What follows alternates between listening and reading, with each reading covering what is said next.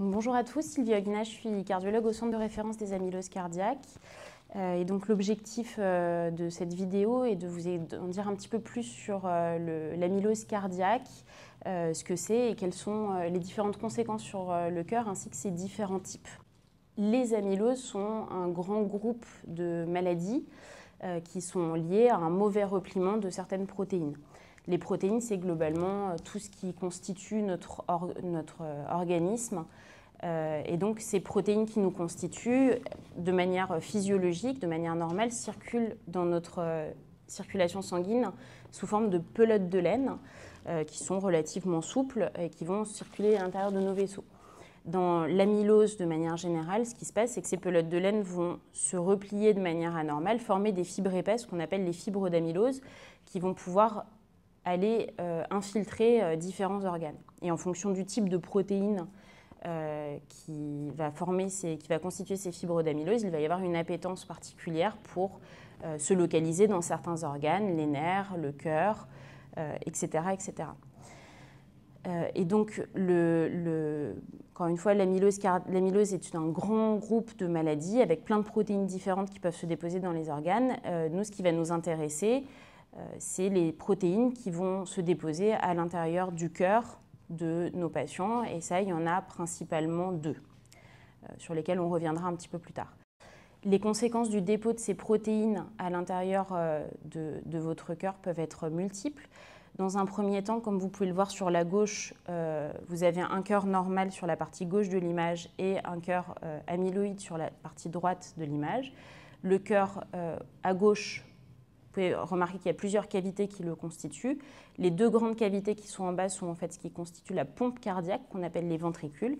Ces ventricules sont forcément un petit peu épais, musclés, puisque c'est ces ventricules, cette pompe qui vont permettre d'éjecter le sang à l'intérieur de la circulation, euh, à l'intérieur de, de, notre organisme pour pouvoir approvisionner vos organes en oxygène, en nutriments, tout ce qu'il faut pour fonctionner de manière normale.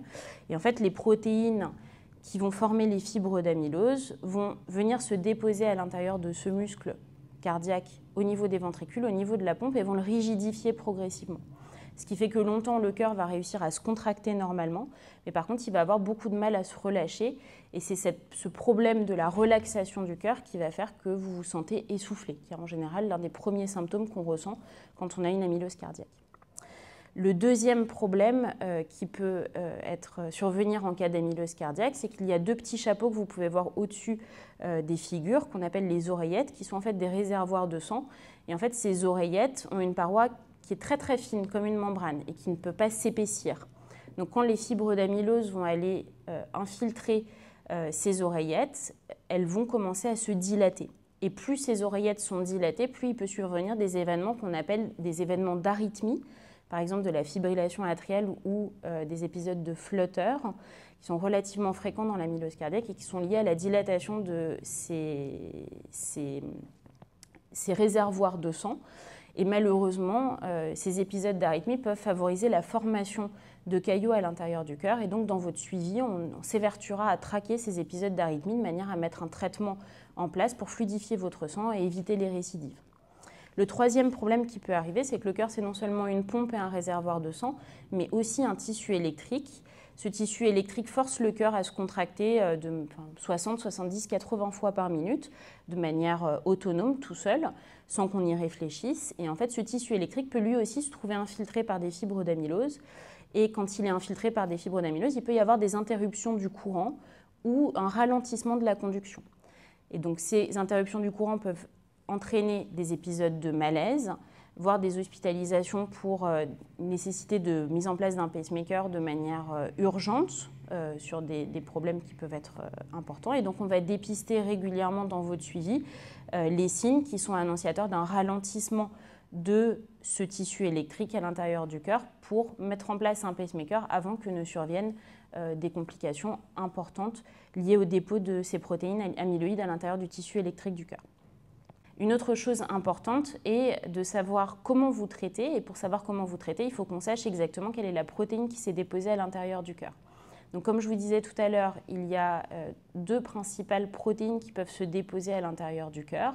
Il en existe une troisième qui est extrêmement rare, qui est l'amylose AA, que vous voyez tout en bas de ce tableau. L'amylose AA est secondaire à des maladies inflammatoires. En général, c'est un tableau assez particulier qu'on évoque relativement rarement. Dans les causes fréquentes d'amylose cardiaque, il y en a deux particulières. La première, c'est l'amylose AL et la deuxième, c'est l'amylose à transthyrétine. On va commencer par l'amylose AL, qui est la première ligne du tableau.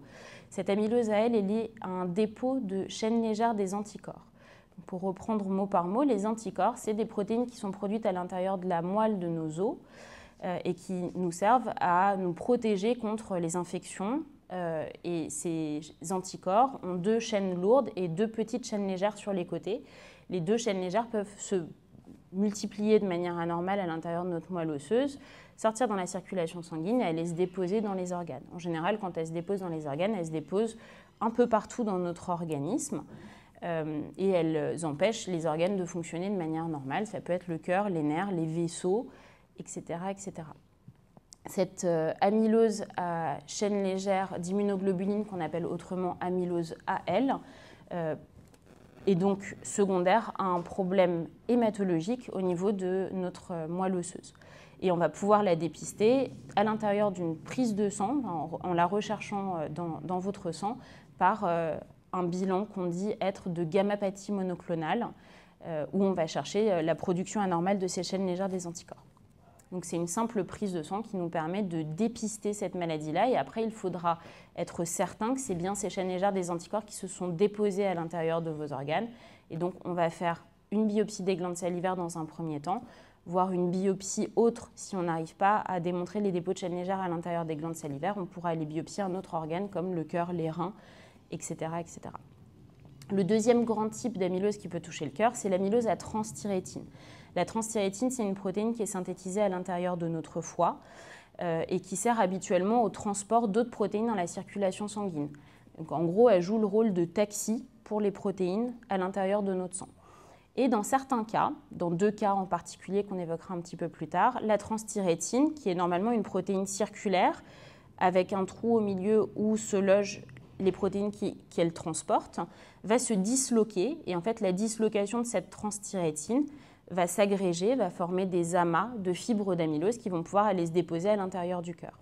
Et cette dislocation anormale de la transthyrétine, elle va survenir dans deux circonstances particulières, soit quand on vieillit, alors c'est tout simplement entre guillemets à cause du vieillissement, euh, et à ce moment-là, on parle d'amylose à transthyrétine sauvage, parce qu'il n'y a pas d'anomalie génétique, ou sénile, pour dire que c'est en lien avec le vieillissement. L'autre cas de figure euh, dans lequel la transthyrétine peut se disloquer, c'est l'amylose à transthyrétine héréditaire ou mutée. Et à ce moment-là, ça veut dire qu'on est né avec une anomalie génétique qu'on a en général acquis de ses parents et qu'on est à risque d'avoir transmis à ses enfants et qui favorise la survenue de cette dislocation de la transthyrétine. Et donc cette anomalie génétique, on peut la rechercher euh, à, l'intérieur d'une prise de sang en faisant un test génétique pour vérifier qu'il n'y ait pas de faute d'orthographe dans le gène de la transthyrétine qui favorise cette maladie-là.